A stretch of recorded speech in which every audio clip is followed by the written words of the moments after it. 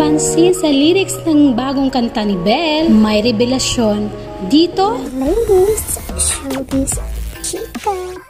Yes, may napansin nga agad ang mga fans sa lyrics ng new song na ipapalabas ni Belle ngayong July 5. Bago pa ang kanyang birthday concert sa 13, ay makapapakinggan na natin ang kanyang bagong kanta ngayong July 5. Dito nga sa post video sa Instagram ng Star Pop, ay nakita dito yung lyrics ng bagong kanta ni Belle Mariano. At Of course, ang mga fans, napakalinaw ng mga mata at naispata na agad yung lyrics ng kanta ni Belle na may napansin nga dito yung mga fans.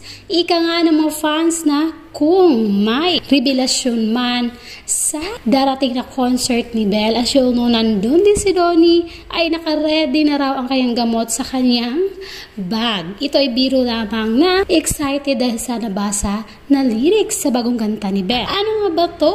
Well, klaro-klaro dito sa lyrics ng kanta ni Belle ay sa part ng kanyang kanta may lyrics dito na ang apelyido mo.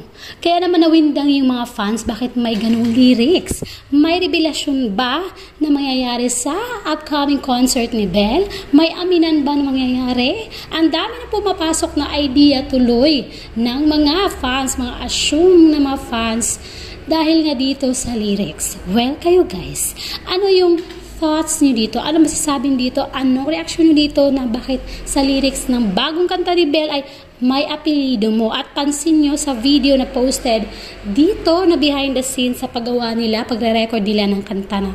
Ng bagong kanta ni Belle ay panay tawa dito si Belle, yung tawa na kinikilig. Sinabi ko na to sa past sa unang video ko na kin, parang kinikilig si Belle sa sarili ng kanta.